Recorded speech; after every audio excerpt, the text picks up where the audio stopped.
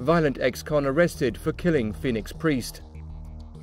Gary Moran was released from prison on April the 24th, but was arrested again on Sunday after allegedly killing Reverend Kenneth Walker and badly beating Reverend Joseph Terra on the night of June the 11th at a Phoenix church.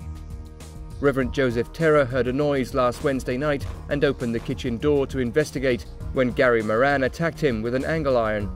Terra was injured in the attack and went to get a 357 caliber gun from a bedside table in his bedroom but after confronting Moran, Terra was unable to fire his weapon because of an injured finger. Moran then wrestled the weapon away from him and made him get on his hands and knees. Reverend Kenneth Walker rushed to the aid of his colleague but was shot dead by Moran. Terra was then badly beaten and blacked out.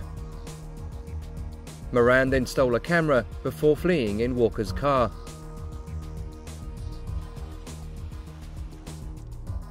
Moran has been charged with first degree murder during the commission of a crime, first degree burglary, armed robbery with a deadly weapon, and several counts of theft.